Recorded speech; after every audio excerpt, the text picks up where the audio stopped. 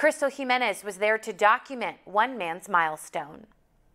Over 800 people were scheduled to get the second dose of the Pfizer vaccine. Robert Jones was one of those first few appointments, and he's glad to finally be fully vaccinated against the virus that nearly took his life.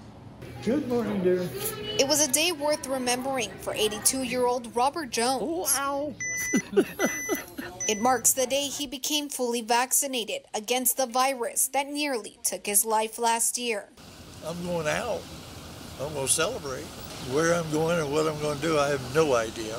For Jones, getting an appointment wasn't easy after he says he called every location that offered the vaccine when it first became available. That's when he reached out to News 11 for help, like so many others did with similar concerns. Now, nearly a month later, he and many others finally received the second dose of the Pfizer vaccine. Now I can brag. Yeah, that's the way I look at it. I got my shots. Why don't you have yours?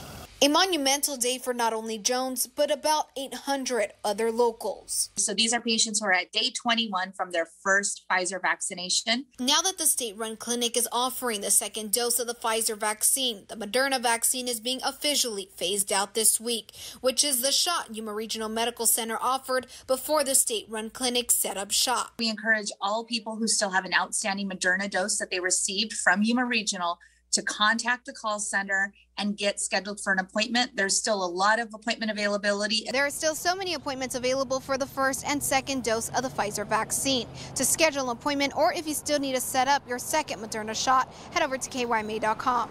Reporting in Yuma, Crystal Jimenez, News 11. Crystal, thanks. Well, now to a look at just how many doses of the COVID 19 vaccine have been administered in our region. Yuma County has now surpassed